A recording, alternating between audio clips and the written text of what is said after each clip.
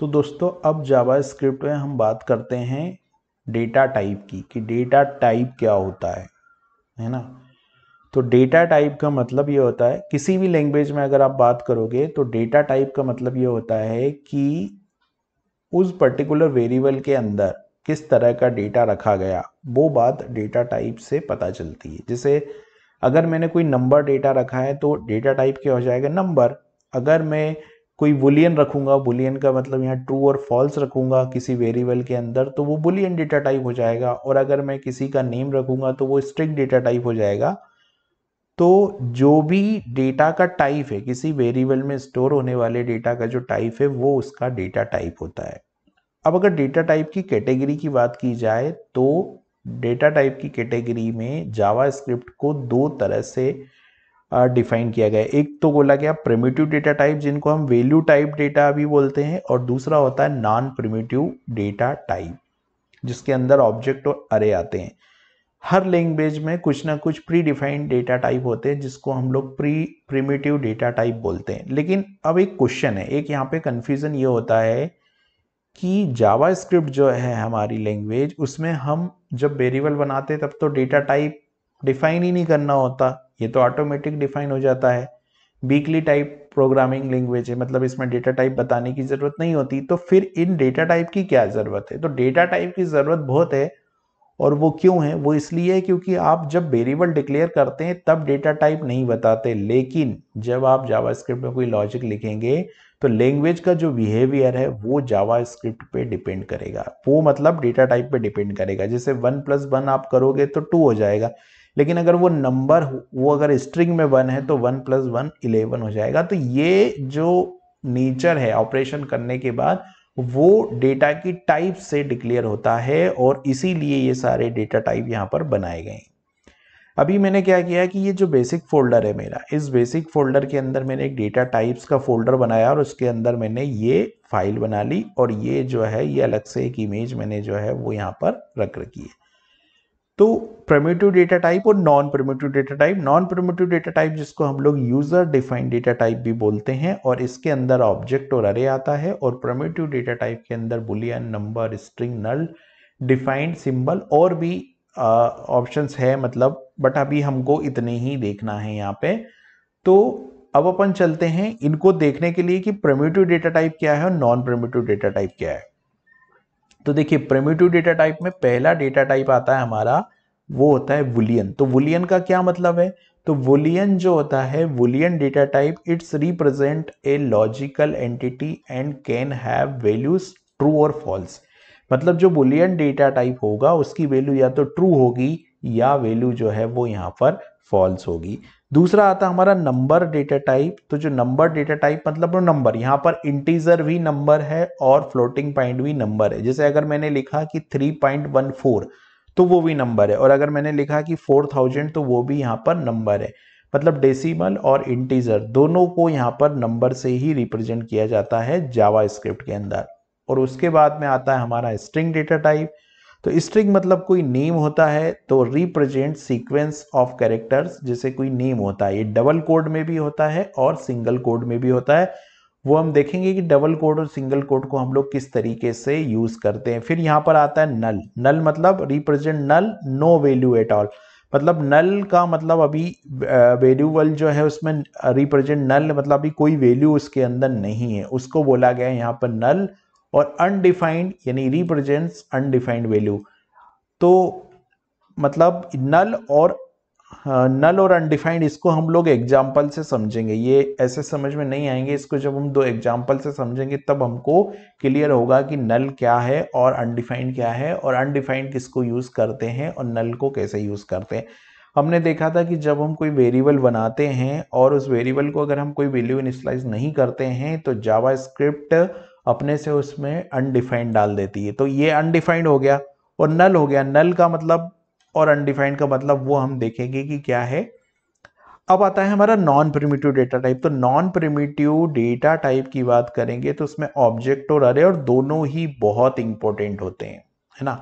अगर मैं अरे की बात करूँ या मैं ऑब्जेक्ट की बात करूँ, पहले हम लोग ऑब्जेक्ट की बात कर लेते हैं। तो ऑब्जेक्ट का मतलब क्या होता है कि वो किसी ना किसी एंटिटी को रिप्रेजेंट करता है। जैसे मान लो आप कोई सॉफ्टवेयर बना रहे हो और आपने कार को रिप्रेजेंट किया तो कार क्या है? कार एक ऑब्जेक्ट है। उसके अंदर फ़ंक्शन भी होंगे। कार का कलर क्या है? तो आप गेट कलर फ़ंक्शन बनाओगे सेट कलर फ़ंक्शन बनाओगे प्रॉपर्टीज़ को इनिशलाइज करोगे तो वो एक ऑब्जेक्ट है। क्योंकि वो एक ऑब्जेक्ट को रिप्रेजेंट कर रहा है तो उसको हाँ जावा स्क्रिप्ट ने ऑब्जेक्ट डेटा टाइप बोला और होता है एक होता है हमारा अरे अरे मतलब represent group of similar values लेकिन जावा स्क्रिप्ट के अरे में आप जो है वो डिफरेंट डिफरेंट वैल्यू को भी यहाँ पे स्टोर कर सकते हो। ज़रूरी नहीं है कि आप यहाँ पर आ, मतलब जैसे कि ऐसा नहीं है कि आप यहाँ पर सिमिलर वैल्यू हुई हो आप अरे के अंदर जो नॉन सिमिलर वैल्यू है वो भी रख सकते हैं यहाँ पे। तो जैसे वुलियन डेटा टाइप की हम बात कर रहे थे, ये हमारा वुलियन डेटा टाइप है। तो वुलियन डेटा टाइप का एग्ज़ाम्पल क्या हो सकता है? जैसे एग्ज़ाम्पल में मैंने एक्स इजिकल टू ट्रू तो ये क्या है यहाँ पर? ये वुलियन डेटा टाइप है। और जैसे नंबर डेटा टाइप का एग्ज़ाम्पल तो जैसे सैलरी सैलरी नंबर ये नंबर डेटा टाइप हो गया और ये pi equal two three point one four ये भी जो है वो एक नंबर डेटा टाइप हो गया। अब स्ट्रिंग डेटा टाइप की बात करेंगे तो स्ट्रिंग जैसे मैंने बताया कि कॉम्बिनेशन ऑफ़ वर्ड होता है तो ये इस तरह से हम लोग स्ट्रिंग को स्टार्ट करते हैं और इस तरीके से स्ट्रिंग को स्टार्ट करते हैं। एग्ज़ाम्पल के लिए जैसे यहाँ पे ये एग्ज़ाम्पल है, इसको सही कर देता हूँ मैं। एग्ज़ाम्पल और जैसे यहाँ पे सिटी ये हो गई और यहाँ पर सिटी ये हो गई तो ये एग्ज़ाम्पल है। ठीक है, अब अनडिफाइंड और नल नल और undefined are both data types in JavaScript undefined क्या होता है? It means variable has been declared but no value has been assigned यानी आपने वेरिएबल डिक्लेयर किया, लेकिन उसको कोई वैल्यू नहीं दी है, उसको हम लोग बोलते हैं undefined so JavaScript automatically undefined initialise कर देती है। अगर आपने कोई वेरिएबल बनाया है और उसको आपने कोई वैल्यू नहीं दी है तो जावा स्क्रिप्ट ऑटोमेटिकली उसमें अनडिफाइंड डाल देगी। और इसका एक एग्ज़ाम्पल से हम समझेंगे क्योंकि इन दोनों में बहुत सारा कन्फ्यूज़न होता है। जैसे अभी यहाँ पर नल है। नल क्या है? नल को एक असाइनमेंट वैल्यू माना गया है। It is a value that assigned by programmer to indicate that the variable currently has no value but will we initialise later मतलब उसको एक असाइनमेंट वैल्यू माना गया है और अनडिफाइंड को अनडिफाइंड वाली वैल्यू यहाँ पर माना गया है। तो जैसे यहाँ पर अपन ने बोला कि एज एज नल है और लेकिन अभी एज को डिक्लेयर नहीं किया है। तो age is declare and initialise with null तो अभी नल है, जब एज डिक्लेयर करेंगे तो वहाँ पर एज जो है वो एक्चुअल वैल्यू हो जाएगी। तो इस तरीके से ये इतने डेटा टाइप होते हैं। अब इन डेटा टाइप का हम लोग प्रैक्टिकल देखेंगे। मतलब इन डेटा टाइप के बेस पे हम लोग कुछ प्रोग्राम बनाएँगे और उन डेटा टाइप को फिर हम लोग डिटेल में देखेंगे प्रोग्राम बना के। कि किस तरीके से ये डेटा टाइप का जो बिहेवियर है वो हमको दिखाई देता है जावास्क्रिप्ट के अंदर। तो अब हम देखते हैं, एक इंटरव्यू क्वेश्चन है ये, कि नल और अनडिफाइंड नल और अनडिफाइंड में क्या डिफरेंस होता है? बेसिकली ये एक इंटरव्यू में पूछा जाने वाला क्वेश्चन है। तो नल और अनडिफाइंड की बात हम करें तो देखिए नल का क्या मतलब होता है? तो जैसे मैंने बताया था पहले भी कि अगर हम कोई वेरिएबल बनाते हैं और उस वेरिएबल में अगर हम कोई वैल्यू इनिशलाइज नहीं करते हैं तो जावा स्क्रिप्ट ऑटोमेटिकली उसमें जो है वो अनडिफाइंड डाल देती है। तो यहाँ तो ये बात क्लियर हो रही है कि it is not a assignment value it means variable has been declare but it not है असाइन एलिम वैल्यू ये बात हो गई कि बाय डिफ़ॉल्ट वो अनडिफाइंड होता है। ठीक है, लेकिन नल क्या करता है? नल असाइनमेंट ऑपरेटर है। मतलब अगर आपने किसी चीज़ को नल असाइन कर दिया, इसका मतलब यहाँ पर ये है कि वो अभी उसमें वैल्यू नहीं है, लेकिन बाद में वो उसमें कोई वैल्यू जो है वो इनिशलाइज की जाएगी। तो ये नल असाइनमेंट वैल्यू है और ये जो है वो अनअसाइंड वैल्यू है नॉट एन असाइनमेंट वैल्यू अगर आप टाइप ऑफ़ ऑपरेटर का यूज़ करके वैल्यू निकालेंगे तो यहाँ पर जो टाइप आएगी, वो इसकी टाइप ऑब्जेक्ट आएगा, ठीक है? और अनडिफाइंड का अपने आप में वो अनडिफाइंड टाइप बताएगा। अगर आप यहाँ पर टाइप ऑफ़ अनडिफाइंड करेंगे तो अनडिफाइंड ही आएगा। मतलब वो एक तरह का डेटा टाइप है यहाँ पर। इस तरीके से जावास्क्रिप्ट बोलना चाह रही। और ये जो है, उसको यहाँ पर ऑब्जेक्ट को एज ए ऑब्जेक्ट रिप्रेजेंट किया गया है नल को इन्होंने।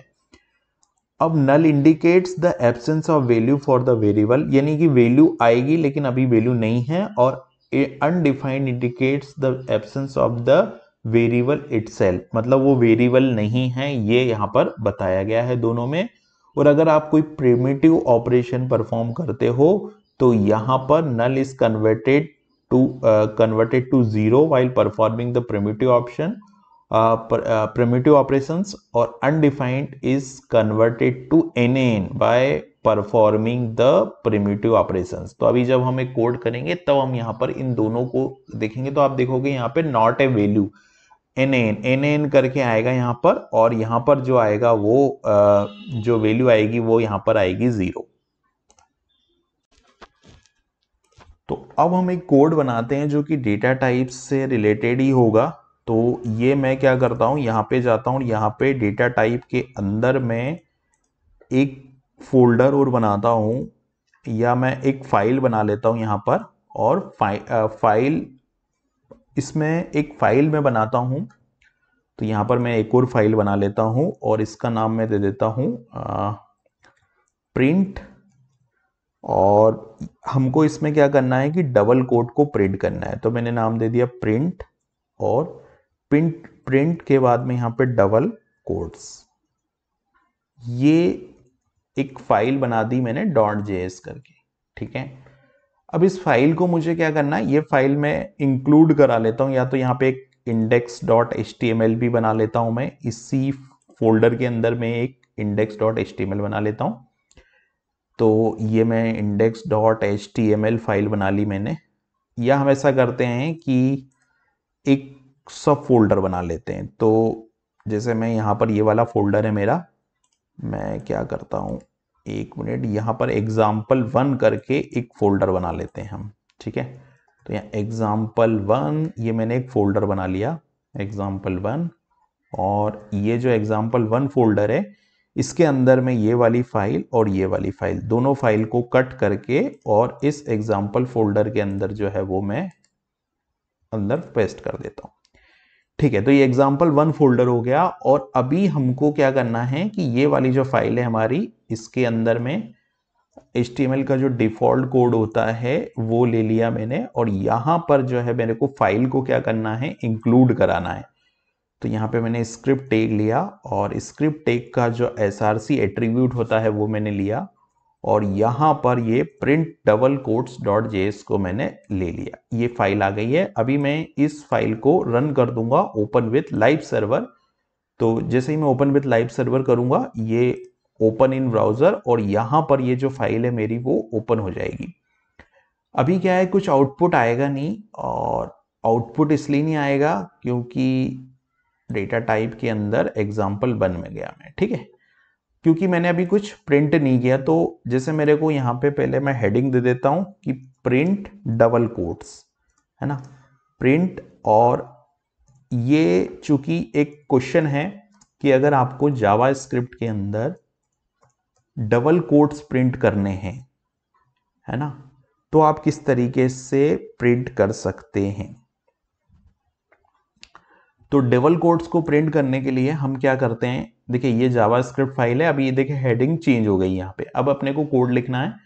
तो कोड के लिए मैं वापस से इस फ़ाइल पे आ जाता हूँ और मैं लेता हूँ लेट एमएसजी करके मुझे एक स्ट्रिंग लेनी वो स्ट्रिंग कोई भी हो सकती तो मैंने यहाँ पर एक स्ट्रिंग ली और अभी इस स्ट्रिंग का अगर मैं कंसोल लॉक करता हूँ, ठीक है? इस स्ट्रिंग को मैं कंसोल लॉक करता हूँ तो मैंने यहाँ पे लॉग लिखा और कंसोल लॉग में मैंने एमएसजी कर दिया। सेव किया इस कोड को और मैं कंसोल लॉक के लिए यहाँ पे स्पेक्ट एलिमेंट ओपन करता हूँ और यहाँ पर जो है हम कंसोल लॉक कर देते हैं। तो आप देखोगे कि ये, लेकिन ये डबल कोड में नहीं आई है स्ट्रिंग है ना? अब स्ट्रिंग डबल कोड में नहीं आया है तो अगर मेरे को डबल कोड में स्ट्रिंग को करना है तो इसके दो तरीके पहला तरीका तो ये है कि यहाँ पर आप सिंगल कोड में इसको दोनों तरफ़ सिंगल कोड लगा दीजिए। तो ये डबल कोड में स्ट्रिंग प्रिंट हो जाएगी। ये देखिए, ये यहाँ पे आप देखोगे तो ये डबल कोड में आपको दिख रही है स्ट्रिंग दूसरा तरीका, एक तरीका और होता है, उसमें यह बोला जाता है कि आप यहाँ पे लगाइए तो डबल कोड जो कि सी लैंग्वेज का तरीका है है ना? और बेक्सलेस लगा दीजिए। डबल कोड और बेक्सलेस लगाओगे आप यहाँ पर, फिर डबल कोड में आप पूरी स्ट्रिंग लिखोगे। लास्ट में भी आप यहाँ पर बेक्सलेस और डबल कोड लगा दोगे और यहाँ से एक डबल कोड हम हटा देते हैं। ये ये हो गया। लेकिन होता क्या है कि जैसे मैंने क्या किया यहाँ पे बेक्सलेस डबल कोड लगाया और पूरी स्ट्रिंग को मैंने यहाँ पे इस तरीके से लिखा और बेक्सलेस डबल कोड लगाया। तो अभी देखते हैं कंसोल पे क्या आया यहाँ पर, कुछ एरर आ रही है। लाइन नंबर 21 में कुछ एरर दे रहा है सिस्टम तो यहाँ पर आपने बेक्सलेस डबल कोड लगाया फिर आपको यहाँ पे बेक्सलेस डबल कोड लगाना था तो ये बेक्सलेस और ये डबल कोड ये है सही तरीका लेकिन हमने चूँकि प्रीटियर डाल रखा है तो प्रीटियर जो एक्सटेंशन है वो उसको ऑटो फॉर्मेट कर रहा है। उस वजह से ये जो है अगर मैं प्रीटियर को आ, अगर मैं प्रीटियर को यहाँ पे देखिए एक तरीका तो ये है इसको मैं एज ए कमेंट यहाँ पे लिख देता हूँ क्योंकि प्रीटियर क्या करेगा ऑटो फॉर्मेट कर देगा तो जैसे मैंने यहाँ पर ये लिख दिया, इसको एक तरीका तो ये है, जो कि सी सी प्लस प्लस का तरीका है। ये वाला जो तरीका है, वो अगर आप सी और सी पी पी में अगर आप डबल कोड प्रिंट करना चाहते हैं तो ये तरीका है, इस तरीके से होता है। और अगर आप पाइथन की बात करें तो पाइथन में इस तरीके से प्रिंट करते हैं तो जावा के अंदर अगर आपको डबल कोड प्रिंट करने हैं तो इस तरीके से हम लोग जावा के अंदर डबल कोड को प्रिंट कर सकते हैं।